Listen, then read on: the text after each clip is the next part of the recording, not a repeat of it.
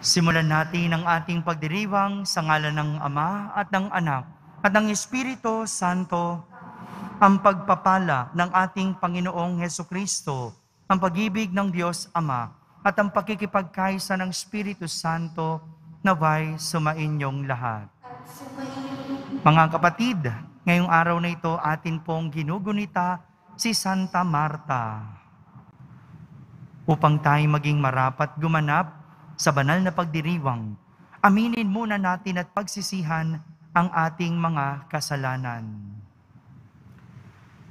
Inaamin ko sa makapangyarihang Diyos At sa inyo mga kapatid, na sa isip, sa salita at sa gawa, at sa aking pagkukulang. Kaya isinasamo ko sa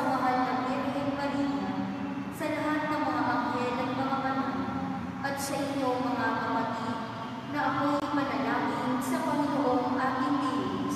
Kaawaan tayo ng makapangyarihang Diyos, patawarin tayo sa ating mga kasalanan at patnubayan tayo sa buhay na walang hanggan. Amen. Panginoon, kaawaan mo kami. Panginoon, kaawaan mo kami. Kristo, kaawaan mo kami. Kristo, kaawaan mo kami. Panginoon, kaawaan mo kami. Panginoon, kaawaan mo kami. Manalangin tayo. Ama naming makapangyarihan, binuhay ng iyong anak si Lazaro mula sa kamatayan at buong lugod siyang tinanggap ni Marta sa kanyang tahanan. Ipagkalob mong sa tapat naming pagdilingkod sa aming kapwa, mapagnilayan namin tulad ni Maria ang iyong salita at makamit ang iyong gantimpala. Sa pamamagitan ni Yesu Kristo, kasama ng Espiritu Santo, magpa sa walang hanggan. Amen. Magsiupo na po ang lahat. Pagbasa mula sa aklat ng Eksodo. Noong mga araw na iyon, ginawa ni Moises ang lahat ayon sa utos ng Panginoon. Kaya ang tabernakulo'y itinayo nila noong unang araw ng unang buwan ng ikalawang taon mula nang umalis sila sa Ehipto. Si Moises ang nagtayo ng tabernakulo. Inilagay niya ang mga tuntungan nito, itinayo ang mga bastidor, isinuot sa mga argolya ang mga trabisanyo at itinayo ang mga poste. Nilatagan niya ng lona ang ibabaw nito at inatipan, tulad ng utos ng Panginoon. Isinilid niya sa kaban ang mga tapyas na batong kinasusulatan ng mga utos. Isinuot sa mga argolya ng kaban ang mga pasanan at ipinatong ang luklukan ng awa. Ipinasok niya sa tolda ang kaban ng tipan at tinabingan ayon sa utos ng Panginoon. Nang mayari ang tabernakulo, nabalot ito ng ulap at napuspos ng kaningningan ng Panginoon. Hindi makapasok si Moises pagkat nanatili sa loob ang ulap at napuspos nga ito ng kaluwalhatian ng Panginoon. Sa paglalakbay ng mga Israelita, nagpapatuloy lamang sila tuwing tataas ang ulap mula sa tabernakulo. Kapag hindi tumaas ang ulap, hindi sila nagpapatuloy. Hanggang hindi tumataas ang ulap, hindi sila lumalakad. Kung araw, Ang ulap ng kapangyarihan ng Panginoon ay nasa tapat ng tabernakulo, kung gabi na may ang haliging apoy. Ito'y nasa isang lugar na kitang-kita ng mga Israelita at siya nilang tanglaw sa kanilang paglalakbay. Ang salita ng Diyos. Salamat sa Diyos. Ang templo mo'y aking mahal, Diyos na makapangyarihan. Ang templo mo'y aking mahal, Diyos na makapangyarihan. Nasasabik ang lingkod mong sa patio mo ay pumasok. Ang buo kong pagkatao'y umaawit na may lugod.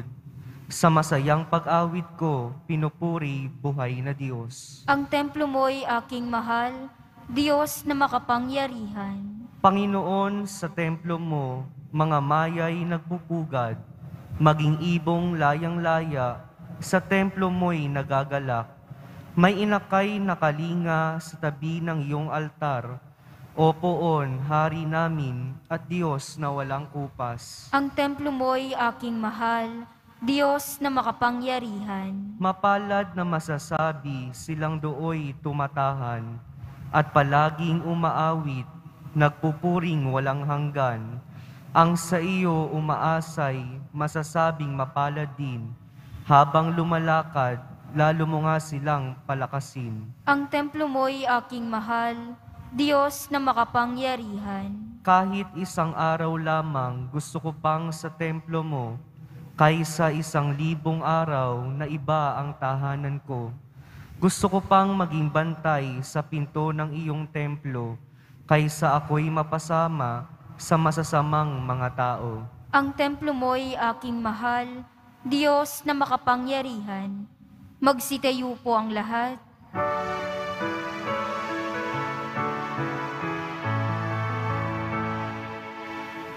heart.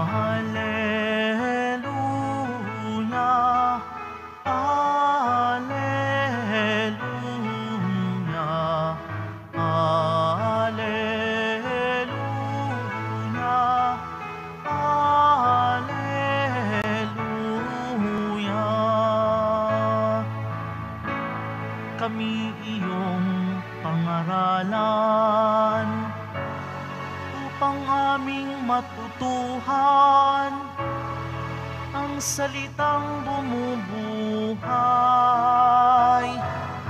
Alleluia,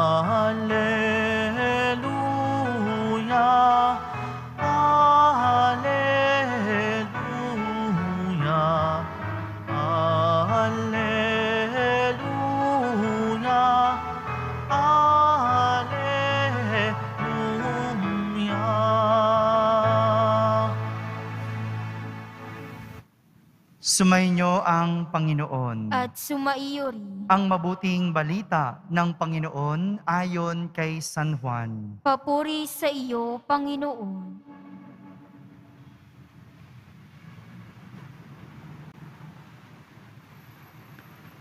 Noong panahong iyon, marami sa mga Hudyo ang dumalaw kina Marta at Maria upang sila ay aliwin.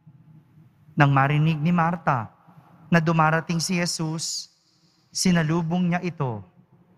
Ngunit si Maria ay naiwan sa bahay. Sinabi ni Marta, Panginoon, kung kayo po ay narito, hindi sana namatay ang aking kapatid. Ngunit nalalaman kong kahit ngayon ay ibibigay sa inyo ng Diyos ang anumang hingin ninyo sa Kanya. Muling mabubuhay ang iyong kapatid, wika ni Jesus. Sumagot si Marta, nalalaman ko pong siya ay mabubuhay uli sa huling araw sa muling pagkabuhay. Sinabi naman ni Jesus, Ako ang muling pagkabuhay at ang buhay. Ang nananalig sa akin, kahit mamatay, ay muling mabubuhay. At sino mang nabubuhay at nananalig sa akin, ay hindi mamamatay kailanman. Pinaniniwalaan mo ba ito? Opo, Panginoon. Sagot niya. nananalig ako sa inyo. Kayo po ang anak ng Diyos, ang Mesiyas na inaasahang paparito sa sanlibutan. Mga kapatid, ang mabuting balita ng Panginoon. Pinupuri ka namin, Panginoong Heso Kristo. Magsiupo na po ang lahat. Isang magandang araw po sa inyong lahat. Ngayon po ay ginugunita natin si Santa Marta. Kasama na din ang kanyang mga kapatid na si Maria at si San Lazaro. Kilala natin si Maria bilang yung babae na mas pinili yung mas mabuti sa ibang ebanghelyo, sa ibang kwento, nang dumalaw si Jesus sa bahay ni na Maria at Marta, si Marta abalang-abala sa pag-aasikaso para kay Jesus. Samantalang itong si Maria, naupo sa paanan ni Jesus. Naupo, nakikinig, nakipagkwentuhan, at tinabihan si Jesus.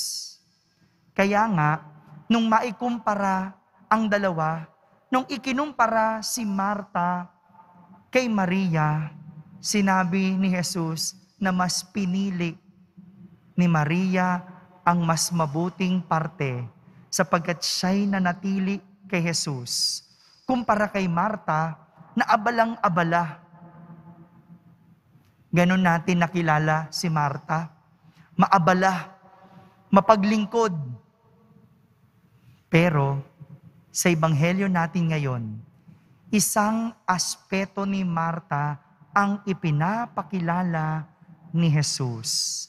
At ito ang pananampalataya ni Marta. Narinig natin, no? Narinig natin kung paano sinabi ni Marta kay Jesus, Opo, Panginoon, nananalig ako sa inyo. Opo, Panginoon, nananalig ako sa inyo. Ito yung mga salita na madaling bigkasin kapag wala kang pinagdadaanang pagsubok. Ito yung mga salitang madaling sabihin pag wala kang problema. Kapag lahat ay masaya at maayos, ang daling sabihin, Opo, Panginoon, nananalig ako sa inyo. Pero kung katulad ka ni Marta, na namatayan, nangungulila, at nasasaktan, mahirap sabihin, Opo, Panginoon, nananalig ako sa inyo. Pero kahit na ganoon, ang nararanasan ni Marta, kahit siya'y namatayan, kahit siya'y nangungulila, at kahit siya'y nasasaktan, hindi niya ito ininda at ipinakita niya ang kanyang pananalig kay Jesus. Maaring wala naman talagang inaasahan si Marta na mangyari. Wala naman siyang sinabing buhayin ni Jesus ang kanyang kapatid. Hindi naman hiniling ito ni Marta sapagkat ang sinabi niya kung ano ang nais mo siyang mangyayari. Kung ano ang hingin mo sa iyong Diyos, sa iyong Diyos Ama, siyang mangyayari. Ito lang naman yung nasabi ni Marta. Hindi niya sinabi kung ano ang kanyang gusto. Ang kanyang sinabi kay Jesus, kung ano ang iyong gusto. Ito yung tunay na pananampalataya. Ang hingin, asahan at kapitan ang nais at plano ng Diyos. Marami sa atin humihiling sa ating gusto, sa ating mga pangarap, sa ating mga dalangin. Hindi naman po masama iyon. Pwede. Pwede tayong humingi, pwede tayong magdasal, pwede tayong humiling sa anumang ating gusto. At ang tawag doon, panalangin.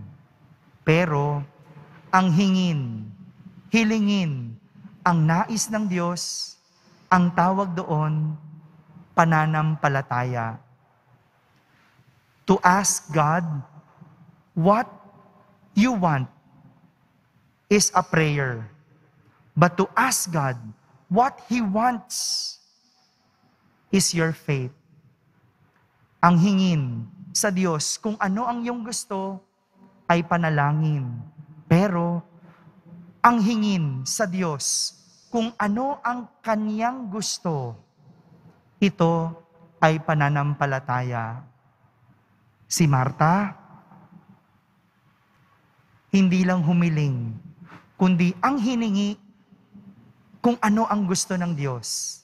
Kaya naipakita niya ang pananampalataya. Naway sa lahat ng nangyayari sa ating buhay, sa pandemya, kaguluhan, ating kabuhayan, kasama na itong mga pag-ulan-ulan, sa lahat ng ating pinagdadaanan, pwede namang magdasal. Pero higit sa lahat, huwag kalilimutan ang pananampalataya. Hingin, hindi lang kung ano ang gusto natin, kundi higit sa lahat kung ano ang plano at gusto ng Diyos. Amen.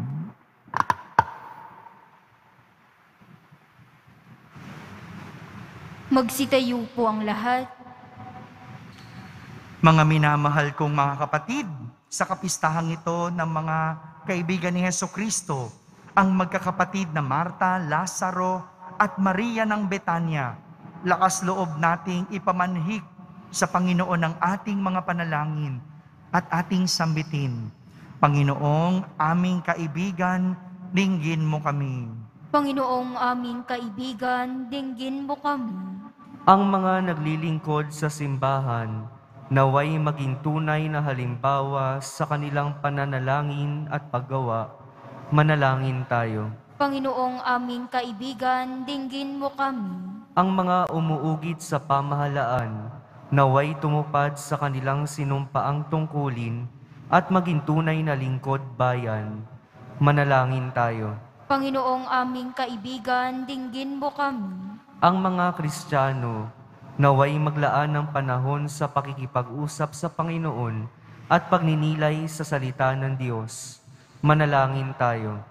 Panginoon aming kaibigan, dinggin mo kami. Ang mga may sakit, naway makatagpo ng awa at kagalingan mula kay Jesus, ang banal na manggagamot. Manalangin tayo. Panginoong aming kaibigan, dinggin mo kami. Tulad ni San Lazaro, ang mga nangamatay naway magkamit ng muling pagkabuhay at pamanang langit. Manalangin tayo. Panginoong aming kaibigan, dinggin mo kami. Sa katahimikan, ating ilapit sa Diyos ang ating mga pansariling kahilingan.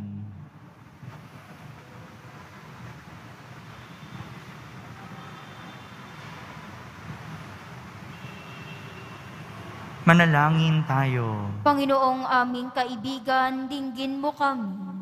Diyos Ama sa langit, malugod na tinanggap ni na Marta, Maria at Lazaro ang iyong anak sa kanilang tahanan sa Betania.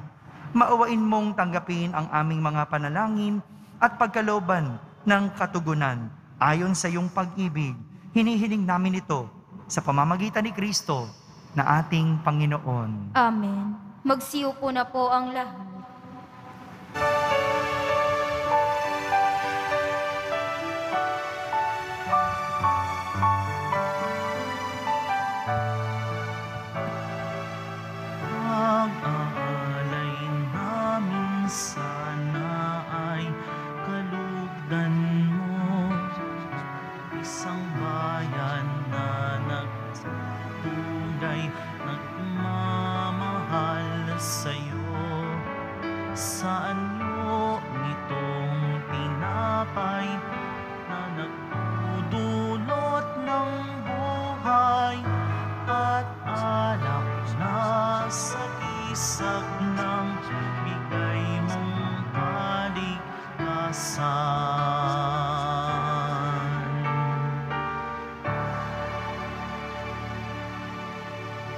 Magsitayo po ang lahat.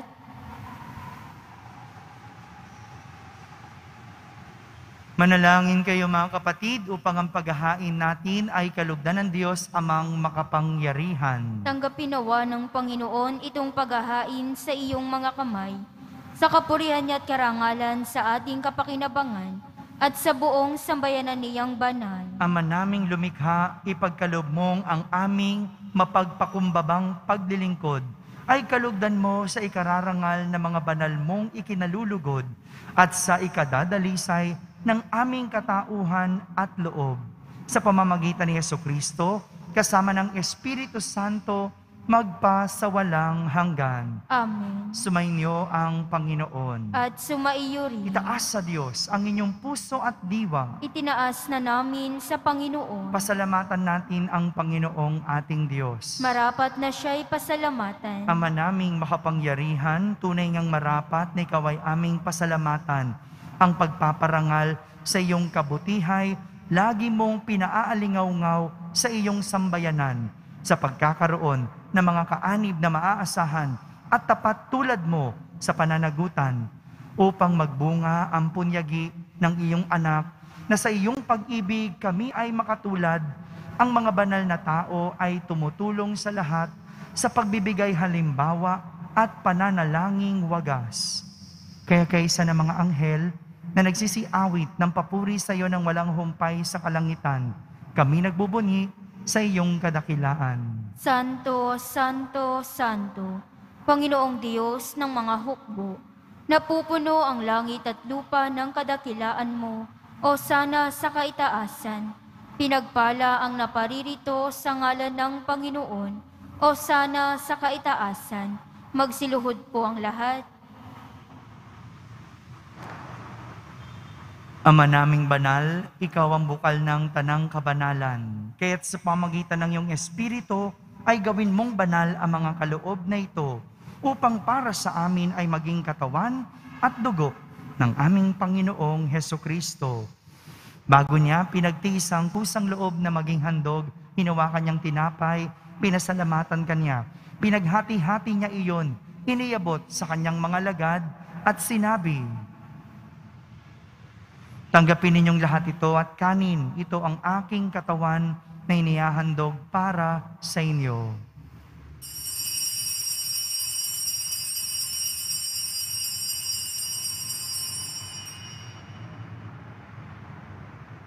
Kaya hindi naman numatapos ang hapunan, hinawakan niyang kalis, muli kanyang pinasalamatan. Iniabot niya ang kalis sa kanyang mga alagad at sinabi, Tanggapin ninyong lahat ito at inumin. Ito ang kalis ng aking dugo, ng bago at walang hanggang tipan. Ang aking dugo ni bubuhos para sa inyo at para sa lahat, sa ikapagpapatawad ng mga kasalanan. Gawin ninyo ito sa pag-alaala sa akin.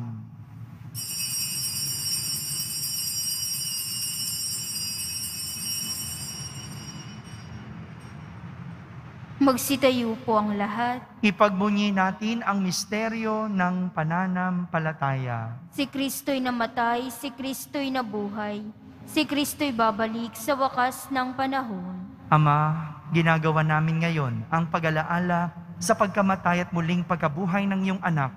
Kaya't inaalay namin sa iyo ang tinapay na nagbibigay buhay at ang kalis na nagkakaloob ng kaligtasan. Kami nagpapasalamat dahil kami iyong minarapat na tumayo sa harap mo para maglingkod sa iyo.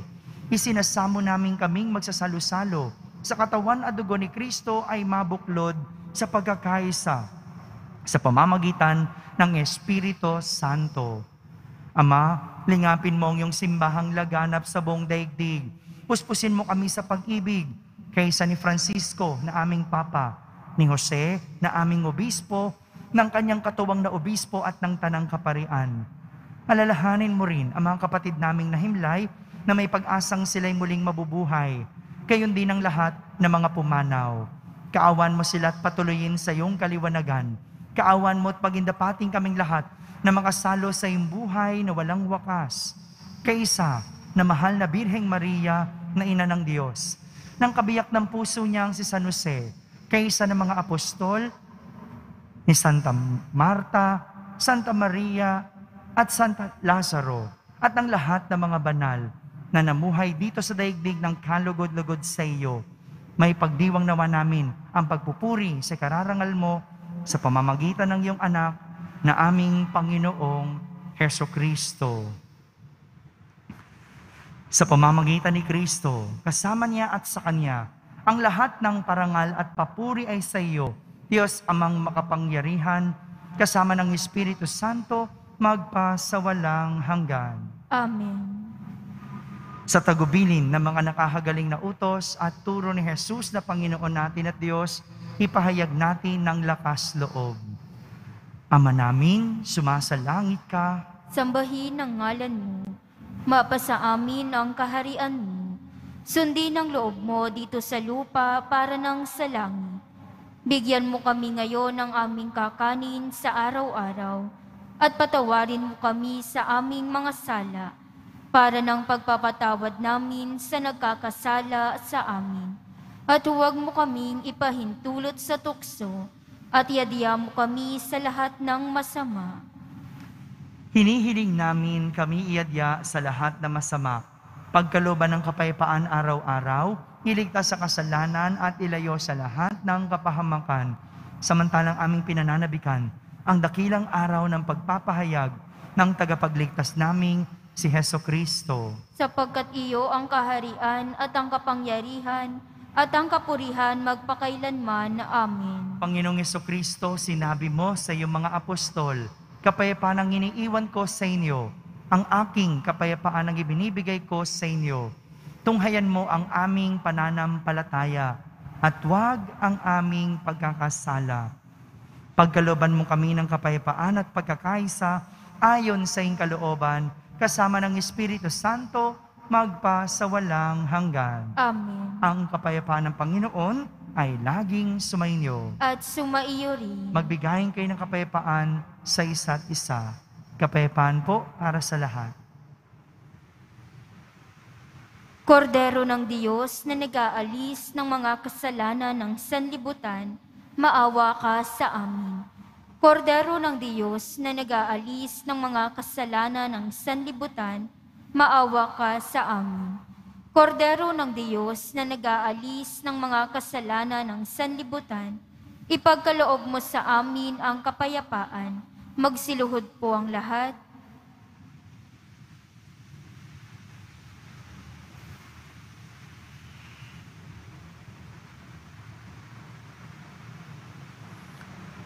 Ito ang kordero ng Diyos. Itong nag-aalis sa mga kasalanan ng sanlibutan. Mapalad ang mga inaaniyahan sa kaniyang piging. Panginoon, hindi ako karapat-dapat na magpatuloy sa iyo. Ngunit sa isang salita mo lamang ay gagaling na ako. Ang katawan ni Kristo Amen.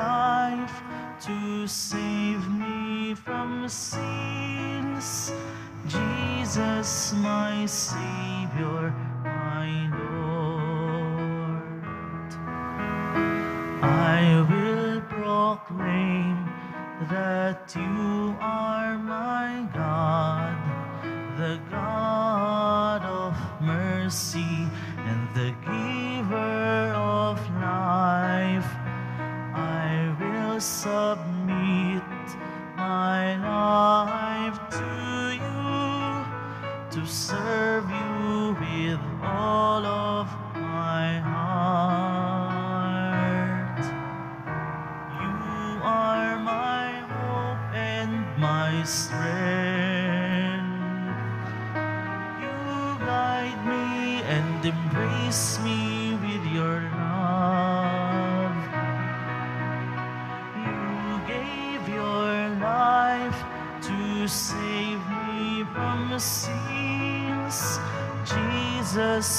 my Savior, my Lord.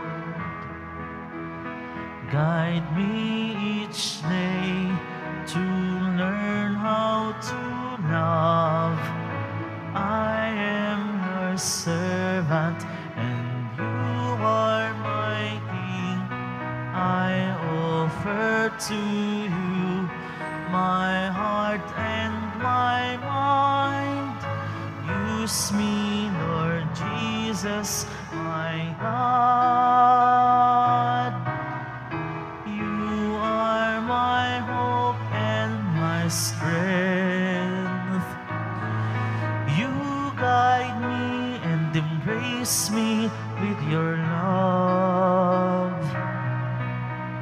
You gave your life to save me from sins. Jesus, my Savior, my Lord.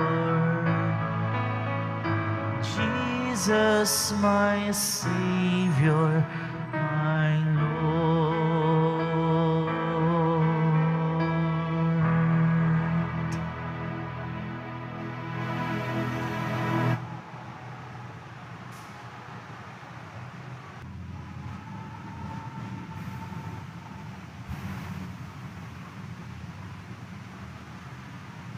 Magsitayo po ang lahat. Manalangin tayo. Ama naming mapagmahal, sa pagsilang sa langit na mga banal, kaming mga nakinabang ay dumadalangin magkamit ng di magmamaliw na kabutihan ng buong mundo, ang ating bansa at higit sa lahat ang ating pamahalaan. O pinagpalang San Roque, pintakasi na mga may karamdaman, lingapin mo po ang aming mga kapatid na nasa banig ng karamdaman. Ang iyong pamamagitan ay sadyang makapangyarihan, na nung ikay narito pa sa daigdig, marami ang gumaling dahil sa pagantanda mo sa kanila ng kamahal-mahalang krus. Ngayon ikay niluluwalhati na dyan sa langit, nananalig kaming ang iyong pamamagitan ay lubhang magaling. Ialay mo po sa Panginoong Diyos, yaring aming mga hinaing, at sa tulong po ninyo ay makamit ang kagalingan ng aming kaluluwa at katawan. Pakundangan sa mga hirap at sakit ng Panginoong Heso Kristo at iyo pong mga panalangin. Amen. Senyor San Roque, panalangin mo po kami upang kami maiyadya sa salot ng COVID-19 at sa mga karamdaman ng katawan at kaluluwa. Senyor San Roque, panalangin mo po kami upang kami maiyadya sa salot ng COVID-19 at sa mga karamdaman ng katawan at kaluluwa. Senyor San Roque, panalangin mo po kami upang kami maiyadya sa salot ng COVID-19 at sa mga karamdaman ng katawan at kaluluwa. Sumainyo ang Panginoon. At sumaiyo rin. Pagbabasbas ng Pong Yesus Nazareno. Mahal na Pong Yesus Nazareno, inihayag mo sa pamamagitan ng krus ang walang maliw na pag-ibig ng Diyos sa sangkatauhan. Pakinggan mo ang kahilingan ng iyong angka na nagsusumamo sa iyo. Makamtanawan nila ang inyong katugunan at tanggapin ang kasagutan na may utang na loob na tinatanaw.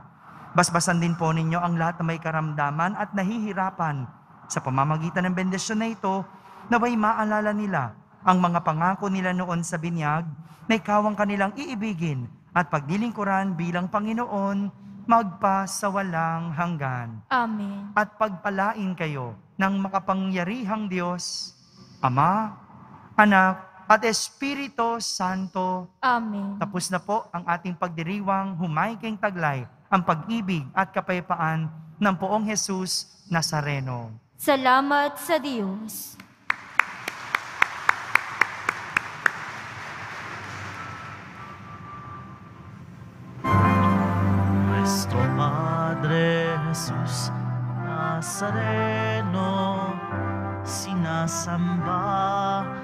namin Pinipintuho ka namin. Aral mo ang aming buhay At kaligtasan. Nuestro Padre Jesus Nazareno Iligtas mo kami sa kasalanan.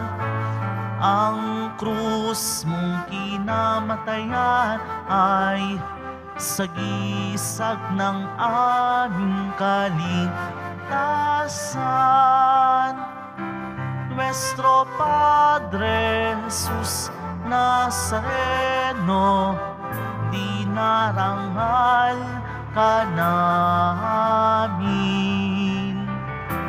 Nuestro Padre Jesus Nazareno, niluwalhati ka namin. Nuestro Padre Jesus Nazareno, dinarangal ka namin. Nuestro Padre Jesus Nazareno, walhati anak